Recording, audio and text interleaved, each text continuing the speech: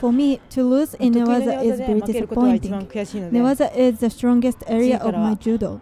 So next time I have to be more careful and concentrate harder. I wanted to become the champion, but I lost, so I'm very disappointed. So in the future, I will try my best.